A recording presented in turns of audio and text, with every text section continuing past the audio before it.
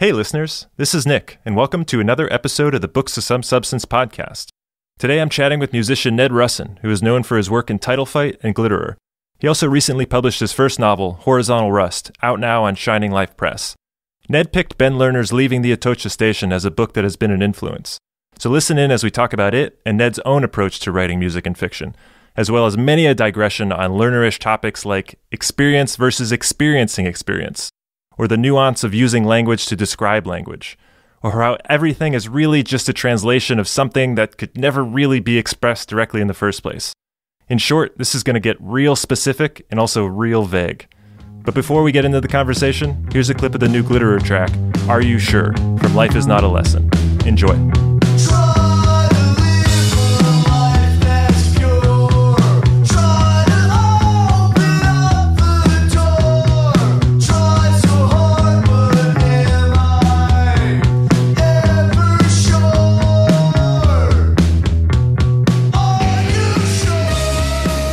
One of the cool things about this podcast is kind of overlapping that music and uh, and writing element. I've kind of noticed that there's this Venn diagram overlap, and I'm going to include Ross from Ceremony and Al from Dangers, previous podcast guests of uh, you know the hardcore hardcore musicians who have a little bit of a literary background. And so you seem to fit very well into that as well. And so I'm curious what what led you to, you know, study creative writing? How does that pair with with your work as a musician? You know, it's it's funny. It, it feels like it pairs very closely, and it, it feels completely separate at the same time. I got into reading seriously, you know, for the second or third time as an adult. I read when I was a kid a lot. Um, I read when I was in high school, and then I kind of fell out of it until I was touring, and I kind of wanted something. I, I don't want to say intellectual because that sounds very like hoity-toity and, and needless, but you know, I, I just wanted something to like engage my brain. Um, And so I picked up reading again. And the thing for me, the, the reason why I feel it's similar to music is because when I started getting really into reading, and it was, it went beyond just, you know, a kind of, I don't know, thing to pass the time. I started to think of it as something that I would want to do, just in the same way that I, when I listened to music, it made me want to play in a band. Um, You know, it just seems like the way that I think about things and it's through my experience in hardcore is like if you're interested in something, you just try to do it. Mhm. And so I I had tried to write stories. I had like been interested in it. Uh, never really went anywhere with it. Just kind of like you know doing it for fun, just having a hobby. And then when I got to school, I saw that it was and even before I was fully enrolled. I had I did community college before I was like a full time undergrad student. Um, I had like kind of daydreamed about MFA programs. Like I was thinking about creative writing just because it's something that like I like this thing and therefore I should try it. And so I I started going to school full time in January 2016 and took a creative writing class and I was like, yeah, I like this. I'll just do it. At the same time, it feels different because it's like the process is so completely different. I don't know, just the way I think about it, the way I engage with it, the way it, it seems to work in my brain feels totally different than music. And I think that's part of the reason I'm tr- attracted to it is because it, it, it is just like another thing to try and, I don't know, figure out another puzzle to, to like work on. And yeah, so it, it just kind of like went naturally from there, kind of pursuing both at the same time until this point, you know, when I've actually like written a book and put it out. Yeah, so writing fiction is kind of the original DIY. yeah. Just just fucking do it. I mean, so I, I I'd like to pick your brain a little bit on kind of what you see the differences in in writing music versus fiction. Because I'm kind of I'm kind of comparing you know the new record and and your book and I, I see some commonality and I also you know I think of uh, new glitterer songs are kind of these condensed pop exercises in a lot of ways. In your book while you know it's still relatively compact I don't think a lot of people would think of it as pop writing. It's almost like an exploration of boredom or, or reality I would say. Hmm and so in some ways they, they feel a little bit divergent, but I still see some common threads between the two. So Yeah. does that does that allow you to, you know, do you express certain things better through music versus writing? How does how does that shake out? Well, the thing is, music is multidimensional, of course. You know, it's like you have the melody, you have the harmony, you have the chord structures, and you have the lyrics. And the thing about it to me is that I am like most attracted to like melody. I'm most attracted to like the the texture of chords and how they interplay and all of that is set within parameters of western music you know like i i feel like i understand the way that that stuff kind of works to a certain extent just because i've listened to music my whole life you know like Mhm. you you have a note you can only go so many places from there you know you have a chord. There are only so many chords that will sound quote unquote right after that. And so in music it feels like when i sit down to write music and i'm speaking just like the, the notes not the lyrics or anything there is something that i'm kind of like tapping into and kind of just like trying to speak a language that is like very specific and you know is already predetermined.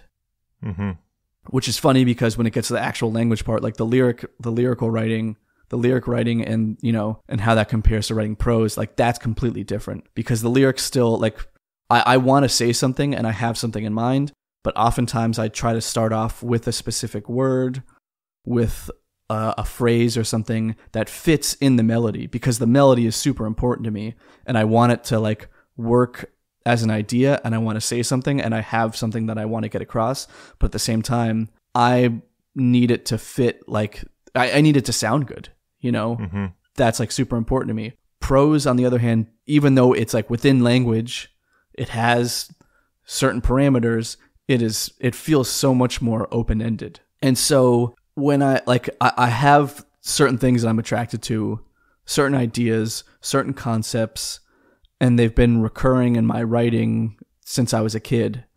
And there's definitely some overlap in content between lyrics that I've written for any band that I've done and the prose that I've written.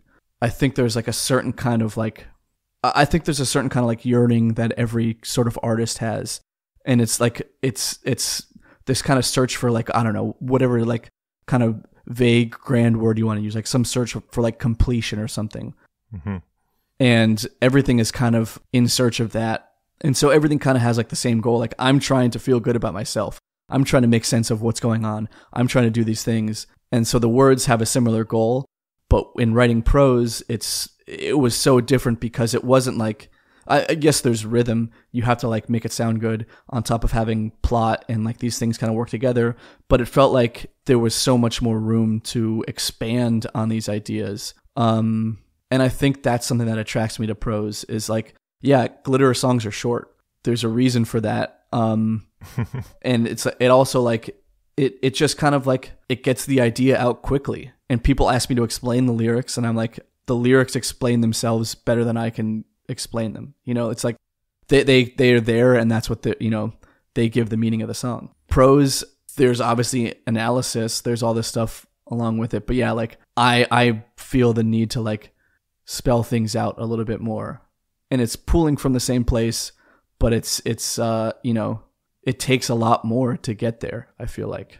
Yeah, you have uh, the main character in Horizontal Rust has this uh, kind of thought process where he mentions, you know, specifically in writing courses, wanting to crave an, an unrealistic idea of reality. And I was thinking about that, taking the record and, and the book together, where a lot of times music, like you said, because it fits into this form that, that gives you X number of spots to go, it is sort of a limited reality in some ways. It's a it's a more condensed, more um, maybe even accessible if we're talking within pop music way of communicating a thing versus uh, the character goes on to kind of go on a fairly large digression about you know how modernism versus uh, realism has influenced American writing and writing in the Western world as a whole. And those to me seem to be very divergent, but at the core, there seems to be, I don't know, a desire to explore what that reality is. But at the same time, like you said, if you ask what the lyrics mean or if you try to dig into them too much, you're, you're kind of you're kind of missing it. You're going a little bit below the surface because that's what it really is anyway. It's already it's already in front of you. So I guess I'm curious: does that is that an accurate representation? Am I picking up pieces that that fit together logically, or is that my interpretation of these? I know. I'd love to love to hear you know your input on that. I, I agree with what you're saying. Um, I think I agree with what you're saying, but I also kind of tend to. I mean, like I, I'm speaking about like the language and the grammar of music, and the language of language is much more complex. but the thing is we're still like the parameters are still there um i'm you know i'm not super well read in like theory and criticism and philosophy but the things that like have i i have gone and sought out and i have read are these kind of like i don't know post-structuralist ideas kind of uh deconstructing language you know and that comes out in the book a lot but you know i'm interested in in like in the sign I, I like Wittgenstein, you know, like I like these things. And so I think that, and I, and I also I got into that like later in life, but that kind of like colors my understanding of language in a similar way that I think you're talking about the music. You know, Mm-hmm. it, it's, I don't, it, it gets really complicated really quick. Yeah, exactly. I don't know. It feels unbecoming to like try and, and act like I'm an, an expert on this thing, but you know, but it is something that I think about. And I just think that music and and prose have like uh I don't know they they can both get there but it's it's very different kind of journeys and it it can have very different outcomes cuz you know like in discussing pop music especially it's like I don't know we put a lot of our we put a lot of the depth on like simple things you know Mhm. like the Beatles are not like revolutionary lyricists to a certain extent. You know, like we'll take the early Beatles for example. You know, like Mhm. those aren't like really deep thoughts. They're like expressions of love. They're expressions of longing. It feels simple to a certain point, but when you like when you get in it, you're like, wow, this is this is a representation of me. This is how I feel. This is like super deep because I feel like this touches me in a certain way. And I think that is like tied up in a lot of different things, but it, it is never coming across as like this super profound thing. And language attempts, you know, I guess prose attempts to be like profound in that certain way. And it's like really difficult. And that's also something that I talk a lot about in the book and I think a lot about in writing is like this idea of the cliche, this idea of like the loss of power of language due to overuse, this idea that like uh, th- this like yearning for originality and authenticity in not only in thought but in you know just like in delivery of your daily life. And so there like everything kind of gets tangled up in that place for me you know? Um for Glitterer for writing for everything. It's like that's kind of where my head's at right now and when i kind of like i try and be I, I try and just kind of let things happen naturally. I try and let lyrics kind of like flow out and try and like catch them. I try and let prose like not feel super labored over but there still is like everything kind of like going on behind the scenes at the same time. Yeah. You mentioned language and the language of language, and the more you look at that, the more complex and, and sort of the depth of the abyss is real when you start to, to get into those details. And I feel like that's exactly kind of what I was thinking prepping for, you know, the topics of this podcast, because a lot of this stuff trying to uh, you know look at what reality is and, and and look at things through different lenses of how it's represented in music versus versus prose versus other art forms it can have such a level of simplicity but it can also have a level of complexity and oftentimes it's almost it's the lens we look at it through right? And our choice of the lens too right? And it's just i was trying to figure out how to best represent that topic. And that fits extremely well in or fits in extremely well with with uh, ben lerner's leaving the atocha station which i've been cycling on for the last week or two after reading it. Um, and so this book for for listeners um, is essentially uh, an expat in Spain um, who's on a uh, poetry fellowship, and he's, I guess we can say, a little bit of a slacker. Uh, certainly does a lot of drugs and drinks a lot, but most of the book is this conversation he's having with himself about language and what translations are and his relationship to language and his relationship to the real world and vice versa. And so I it's almost hard to dig into these because it's such a level of minutia, but at some point it also feels very universal. So if I can tie all that together, I am curious what what has sort of drawn you to this book? What led you to to reading Lerner for the first time? Uh, I I got this book in 2016 uh, after I read a short story of his in the New Yorker. Um, I kind of got into reading through the classics, you know, um, which it feels pretty common. And then after I hit a certain point and I read some of the I don't know more contemporary writers, I, I felt like more excited, um, more interested and drawn to them, and and so I was kind of on like a quest to find like a actual contemporary scene that I wanted to like not be a part of because I, I think about it in terms of like a music scene, you know. But it's like uh, I I just wanted to like feel like I belong to a team in a certain way, you know. And I read Mhm. I read Lerner in the New Yorker, and it was just something that clicked with me. I I really enjoyed it, and I I went to you know the bookstore and I picked up Atocha Station and I read it really quick, and it just felt like felt like something I wanted out of a book. You know, it was intelligent in a way that doesn't beat you over the head. It was like it's funny, hmm um, but it's also kind of just like realistically sad. Um, Oddly more emotional than I expected it to be. yeah, yeah, and it it kind of like just hits all these beats really, really well. And also he he's Ben Lerner in real life is a poet as well, and so like just his command of language is is really I don't know captivating. Um, it's just certain little things that like you, you read a line, and I'm just like amazed by it, you know. So it kind of has like all these things. And I just like and and I got I was interested in autofiction. I I don't know the exact timeline, but like I don't know if I read this before I got really into autofiction, but like this is a book that kind of like made me want to made me want to write like that, made me want to like read authors like this, made me want to be involved. And so that was I don't know. This this book is like an important moment in my kind of like I don't know journey to in as a reader and as a writer. Yeah. That you're you mentioning kind of wanting to find like a contemporary team, right? That's like exactly what was going through my head. Because I have a friend, uh, I guess Justin Bean, if you're listening to this one, who's kind of recommended me Lerner a couple times. And before Tocha Station, I actually went and read his other books, hmm Pika School and uh, 1004. It was just like, holy shit! Like this is this is my team. I had actually been avoiding a lot of contemporary stuff. Kind of like you said, it's al- almost like a little bit of a an obvious thing to to focus on a lot of the classics. Uh, but when I read this, I mean, this and basically W.G. Sebald to me go together relatively well, and those are my contemporary-ish, I guess, notes that have really connected with me. hmm And so I'm kind of I'm kind of very personally invested in this topic because you know we explore a ton of different books in this podcast, but this is the first one in a little while where I'm like, oh, this is this is it. This like clicks with me.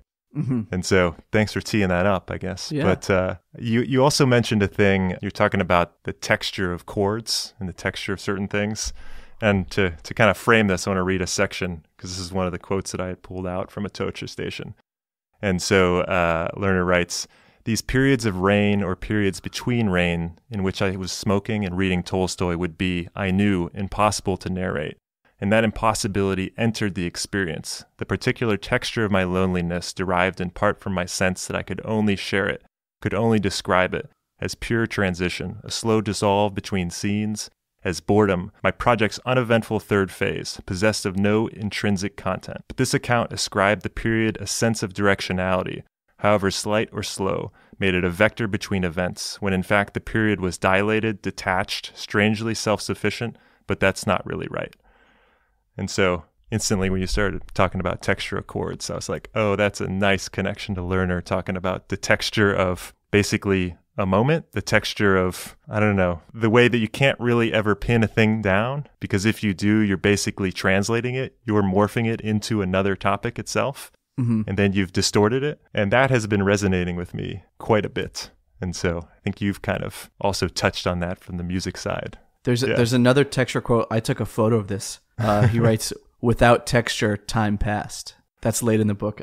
The- yeah, Yeah. he- the way he's talking about texture is so interesting there to me, and it's something that I think a lot about. And I like the, I you know you, you talking about the quest of reality. I think also makes me think about this as well. But it's like the majority of life is something that we'll forget hmm the daily minutia that makes up most of our time is something that's just redundant and you know insignificant and Lerner's touching in that on that in that passage that you read it, it feels like to me where it's you know there's so much that we want to capture that seems senseless in a way. And yet it's like still so it's it's not important but it's like super important you know just because it is it's a part of our lives and therefore that makes it significant. And it's a part of everybody's life which makes it in- extremely significant. Like the the the idea of boredom as a texture is really interesting. And something that i feel like something i was trying to to touch on with Horizontal Rust as well. It's that there's a lot of stuff in our lives that we don't know how to make sense of it. And it's not that they are tragic or, I don't know, something that these like important big moments, but they're still there, like nonetheless, you know? Mm-hmm. Yeah, you had a section uh, in Horizontal Rust with characters talking about almost being lied to at a certain level by the by the Raymond Carver school of of minimalism of taking these these relatively insignificant moments and giving them an aesthetic, giving them extra importance. But still, that somehow feels a little wrong in a way because they're actually not that important. Yeah. They may have an aesthetic, yes or no, but but they're still just just that. So that's a, a different distortion in a different way. And so that, yeah, I feel definitely Lerner obsessed with the texture and also not a far cry from texture being the concept of negative space Mm-hmm. and specifically negative space in language, which is, of course, a huge function of poetry in general, right? Poetry plays as much with the words on the page as what's not on the page. But he seems to apply it, even though he's fluent in Spanish, he finds that the character himself, he finds that if he leaves the space open, his friends or, or the women he knows will fill in the space with what they assume he's trying to, Yeah. to communicate. I, I love that. And I, love that so much, partially because it was brilliant, but partially because it's just a shithead. yeah. Like, Yeah. He's, he's always saying, like, I'm not fluent. And then everyone says, You've lived here for six months. yeah, You are, like, you can how do you express think- everything you want to. Yeah. I, I, I forget where I was. I was on tour in Europe somewhere and someone was talking about how they weren't fluent and they basically said in English, they, they, they were saying they weren't fluent in English and they said, I don't know how to say this type of thing. And I was like, you just said what you're trying to say. Exactly like that. Yeah. And it's like, you may not know the exact specific, like, whatever little word that you're looking for, but you just got the idea across. And that, like, that is what Adam Gordon, the protagonist, is kind of going through. It's like, he doesn't believe he is capable. Um, I don't want to say believe he's capable, but he, he often, like, presents himself as incapable of accurately, I don't know, depicting, maybe not even accurately depicting something, but, like, just kind of he he doesn't believe himself to be a real artist. You know, he doesn't mm-hmm. believe himself to like actually know what he's doing.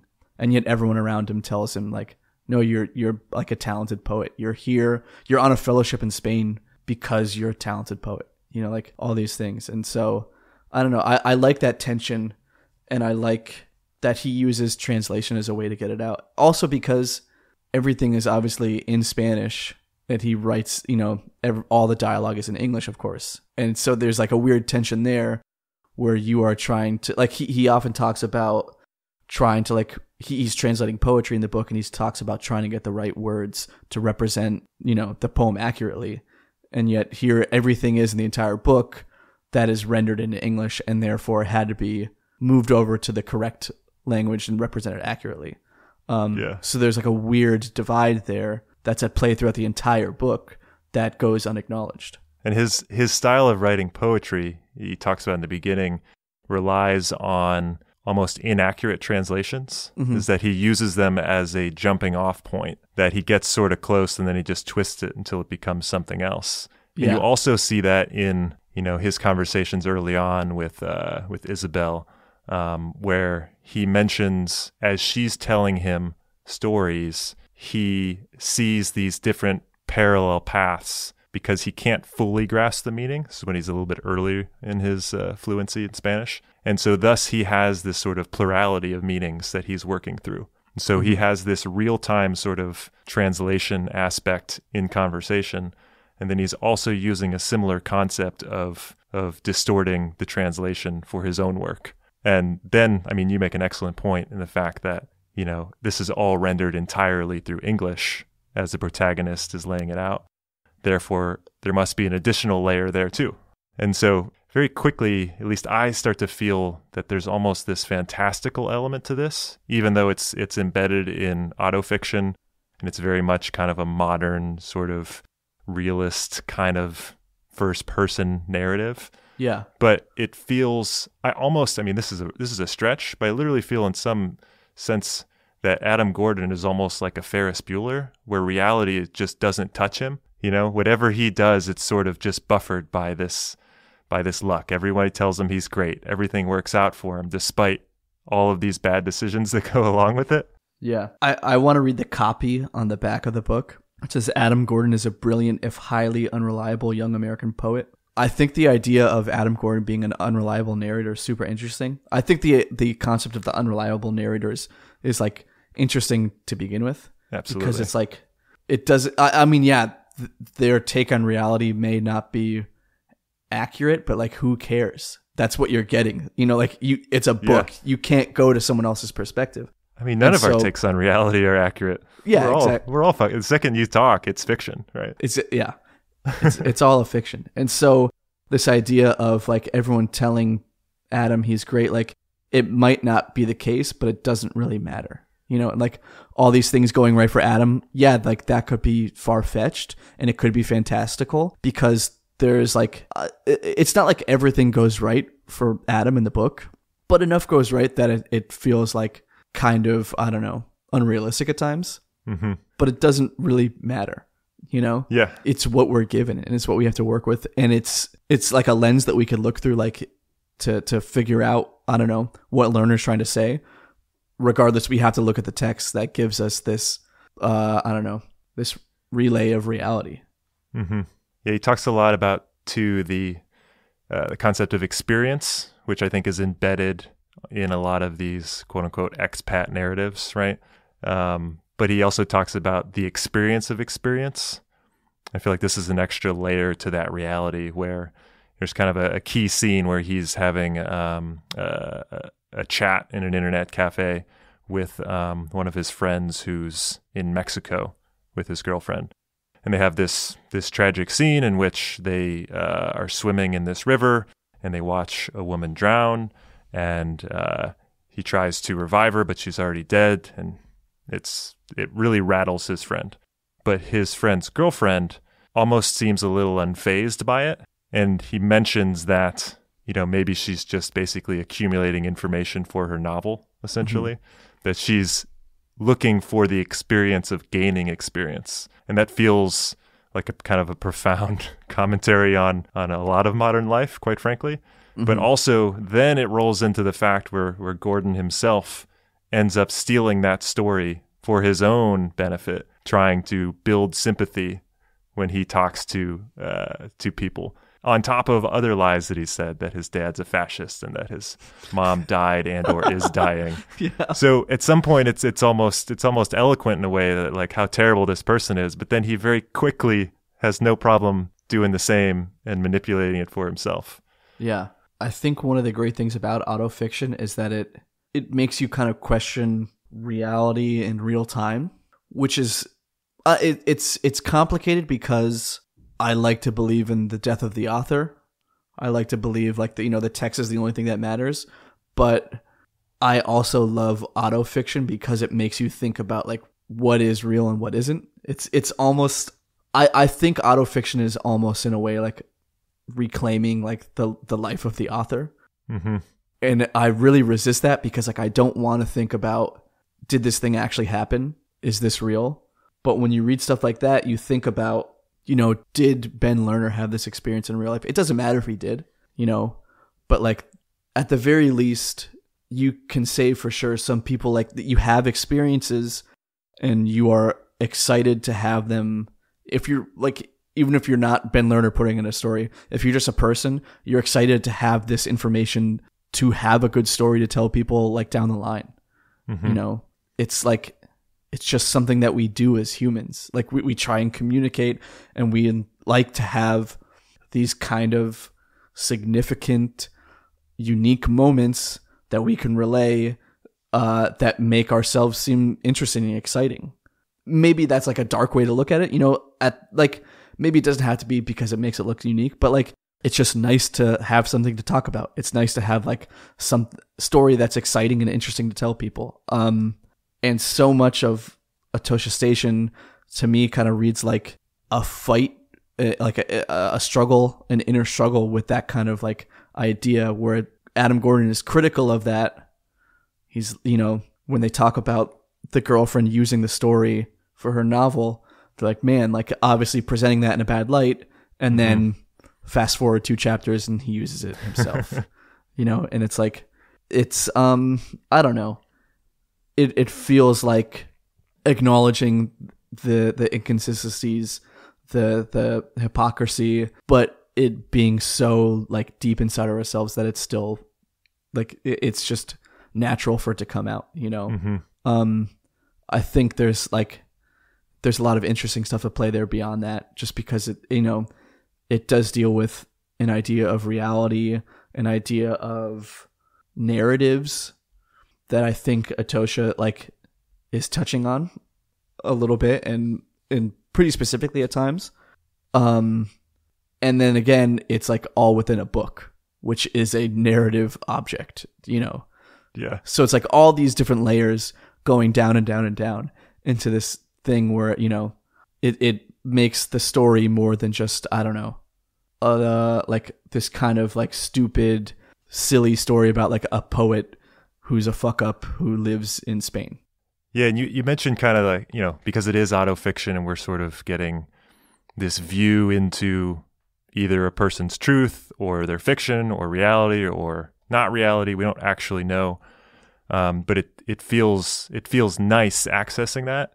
But there's a funny layer to that too, where in one of the critical moments of the novel, uh, when the Atocha station is bombed, and Gordon goes to see it essentially because he's nearby, and he sees firsthand the damage uh, was done. He sees people who are injured. It's it's kind of a traumatic event, and he comes back, and slowly he finds himself almost forgetting or replacing his real memories with the photos and things that he then sees online and through the New York Times and stuff Mm-hmm. like that. Yeah. And so even though he's he's writing as presumably the narrator, right? He's depicting this, and obviously Lerner's writing it, but it's coming via Gordon's voice.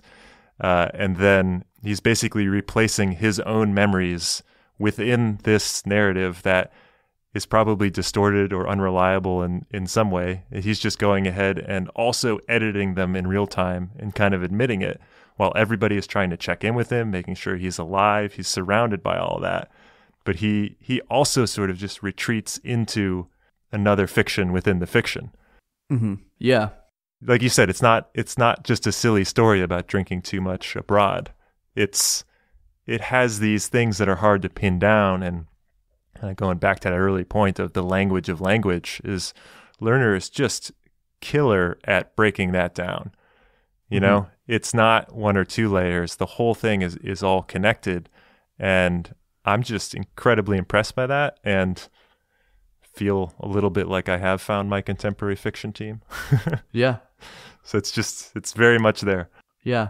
It's I, I think the setting really helps this book as well because the the book came out in 2011. You know, it's obviously set a little bit before that. It's like he talks about uh A- Adam Gordon talks about how he told everybody that uh he doesn't have Wi-Fi at his apartment and so he has to go check his email at an internet cafe, which is a lie. He s- like mentions at one point he doesn't have a cell phone. It, it's just in this era where these modern amenities, which are so normal now, only 10 years later, were not a thing at the time.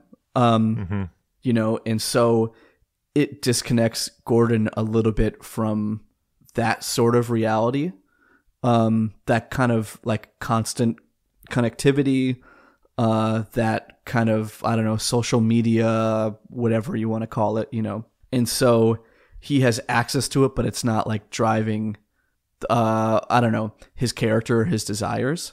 Mm-hmm. But when it comes in, yeah, it's him like reading the Times and like him talking about being at the bombing and yet like looking at the picture on the Times of the helicopter or whatever, you know, like that moment. It's it's stuff like that where these things which are much more apparent now are like completely inescapable, but here's someone struggling with it when it's not even um, you know, as part of a, our daily lives as it is Yeah. now. Yeah, it's not it's not ubiquitous yet, and essentially it's it's sort of forward looking in a way about how much we're just inundated with that. And you're right. If if this is a small fraction of what he's going through, and it's hard for him, like, do we even know how much of our own memories and how much of our own perception is sort of being replaced in real time by this stuff? Yeah. That's I mean, if you want to if you want to talk about an abyss, Like, you know, are you are you having any anything authentic, you know, going on inside your brain or is it just really are we just totally jacked in at this point and Mhm. the it's just too hard to look away from all the sensory stuff. Yeah, it's and even to a certain extent, the the I guess we could call it like the real sensory stuff that he experiences, if we are to believe, you know, the stories that we are told in this book. hmm They they are like modern things, you know. It's um to a certain extent there are like kind of I don't know classic stories here of you know what travel, uh, love, um, things like that. But the I don't know experiencing a terrorist attack feels pretty modern. Um, Right? I don't, I don't know if I want to call it a terrorist attack. Experience a bombing. Um, experience like it's just all these things. It's like there are things that could only happen now in the book, you know, and um, I think even without the the social media aspect, without this kind of like replacing ourselves with fiction, it still like to just look at certain aspects of our daily lives still kind of like brings to mind that everything feels unrealistic to a certain point. You know, Mhm. it. Uh, I don't know. Maybe uh, also when I say that, it feels like everyone must have said that all the time forever. I'm sure somebody like was like the television people talking about this thing like that's insane. This has got to be like a modern, you know, like cer- certain things like that. Like Mystery novels in the 20s. yeah, everyone feels like their contemporary moment is so unique and interesting. Where it's like Right. it's just the it's not like it's the same thing over and over again but it's the that that thought process is like repeated so so often time and time again you know Yeah. But yeah it's it's uh i don't know that modern aspect of the book i think does a lot of like it, it does I, I think it helps the book tie a lot of these theoretical ideas together Yeah. There's also also built on that is the topic of performance, or rather, maybe planned performance. Uh, One of my favorite scenes toward the end is when he basically gets roped into doing that. Uh, I guess that talk uh, with a couple of other renowned authors and academics, and in order to prep for it, he basically writes these non-committal responses in his head for Yeah. whenever topics come up, and he knows that he must chime in a certain number of times in order to participate, but he doesn't want to overextend his overextend his bounds. And so he basically looks for the time to interject these nicely, tightly contained thoughts out there, and people love it. And then he basically gets caught in it when somebody asks him a direct question, which is Yeah. a really simple question. Just name some stuff that you like. yeah He basically trips all over himself. And that Yeah. that I love because I'm going to break the fourth wall a little bit and say that you know I I prep some stuff before we have these kinds of conversations, and I'm like, oh shit, I want to get in something about performance. I want to get in something about you know this aspect of reality, and I was like, oh, am I am I like that? Is so much of conversation and what we do? Do we have a planned performance that we're basically just waiting for the moment to enact that? Or are we authentically making adjustments and communicating or, you know, doing whatever in real time? Like is it is it a charade or is it is it actually accurate? So that one, I don't know, that really connected with me in a level that I'm still not totally sure on. Yeah. The, I mean, I, I think the opening scene of the book does a good job of like displaying the kind of like discrepancy between Profound experience of art. Oh yeah, that's that's my favorite. Um it's between like expectations of I don't know, standard kind of like uh, we we can say like in this instance like specific kind of like questions that you're supposed to ask or just ways in which you're supposed to act in situations. Everything is predetermined to a certain extent, you know.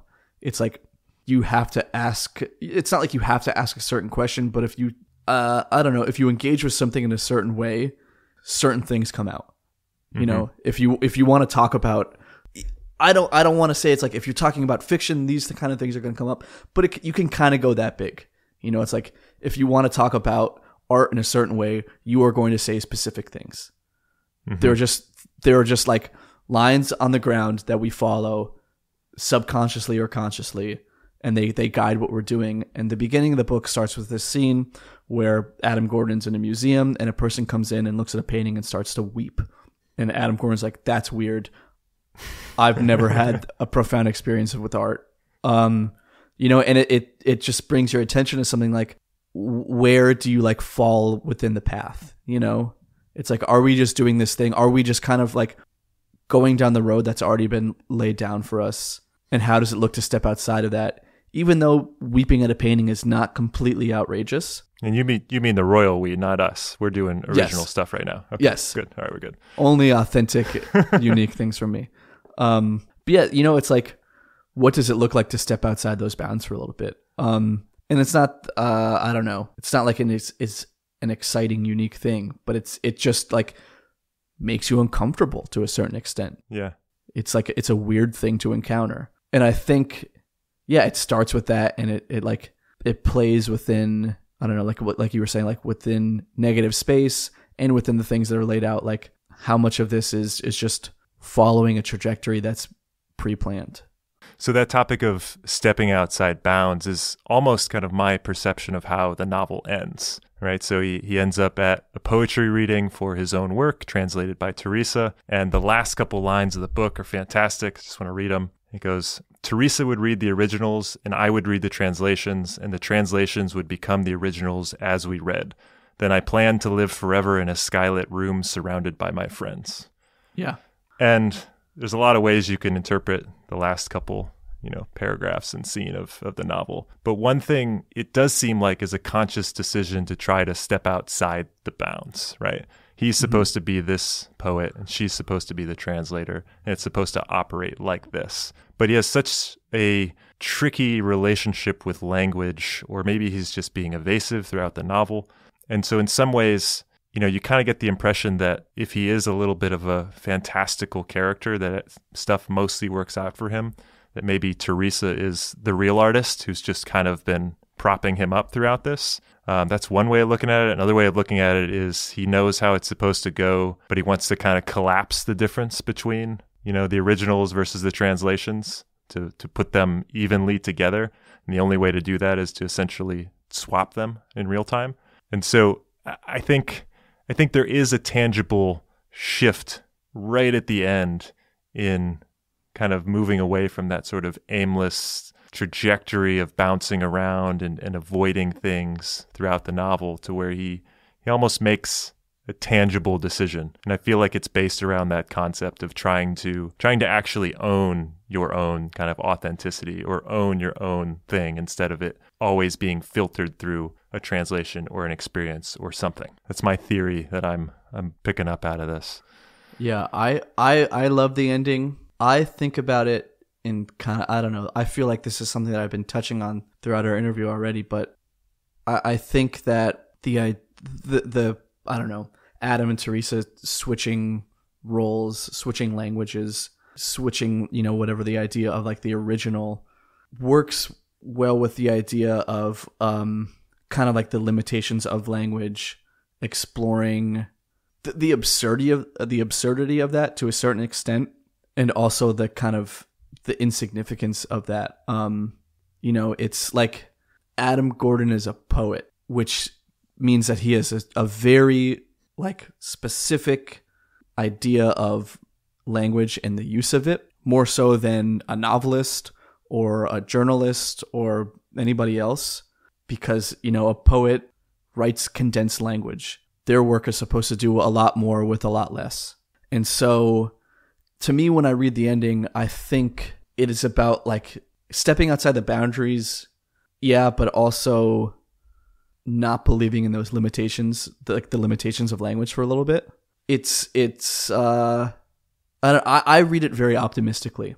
I read it like language can be something that we are I guess we we've been talking about this a bunch already. It's like language can be something that we are contained within, you know, and it it can feel predetermined. There are Mhm. only so many, you know, if you want to be understood, you have to say these words in a certain order. And once you get doing once you do that, then it becomes like there are only so many phrases that you use. There are only so many words that you can use. And yet somehow there still is like significance in that. There still is power within that. There still is meaning behind all that, even if the meaning of the word is if the word itself is just like gibberish sounds that we have concocted to try and relay a very specific abstract meaning, you know, and it feels like at the end, Adam kind of like is able to let go of those constraints for a little bit, mm-hmm. you know, and I guess it's the same thing as stepping out of the bounds, but it it's like I read it as like accepting the boundaries and like forgiving the boundaries at the same time, you know, yeah, because in order to relay anything not relay anything. Like you can you can relay an idea through a painting which doesn't have language, but in order to process that, we are processing that through language. In order to tell someone how that makes you feel, you have to like mm-hmm. relay that in language. And so we're set in this trap and at the same time the trap can be it can lead to uh something profound. You know. Mm-hmm. Yeah, I the thing is that's like my kind of like my my big thing. I love the idea of like the the using the limitation of language as a way to get to I don't know whatever word you want to use something profound. Um, constrained art. Yeah, everything is constrained to a certain extent, you know, mm-hmm. and it's it's not just like making something. Uh, and kind of like this goes with with hardcore, like the way that I think about it, because that's kind of like where I learned all these ideas. It's like it's not like you write a hardcore song that uses the same four chords that every other band has used forever and like that is uh i don't know that can be like an epiphany can be something profound. But if you do it the right way you can kind of unlock those things at least like for yourself. And i think that works like it that in itself kind of like ties together a bunch of things that i'm thinking about. Like that ties like that works so well with the auto fiction element it works with the constant talk of like the language and the translation um, with like uh, Adam telling stories that aren't true, with concocting these kind of like false realities. Like it builds to a moment where like within all of these things that screw us up, there is still access to whatever beautiful thing there is. You can still, at the end of the day, plan to live forever in a skylit room surrounded by all your friends. Exactly. Uh, well, thanks for hanging out and chatting and providing all that insight. This was, like I I think I've said it like five times already, but this is a little bit of a like, oh shit, this is my this is my kind of book. So thank you for kicking me in the ass to to read this and by uh, proximity the other Lerner books because I'm totally hooked at this point. And uh, awesome. yeah, so thanks for thanks for hanging out. Yeah, thanks for having me. Yeah, cool. Thanks for listening. You can find out more about Glitterer at glitterer.com.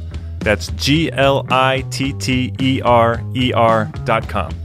It's a David Foster Wallace reference, which is, of course, very fitting if you just listen to last hour of discussion. Life is Not a Lesson is out now on Anti Records. Ned's novel, Horizontal Rust, is out now from Shining Life Press, and I highly recommend checking out both. You can find out more about us at booksofsomesubstance.com and on Twitter and on Instagram with the handle BooksOSubstance. Now, if you'll excuse me, I'm going to go think about the texture of reality for another few hours. Cheers.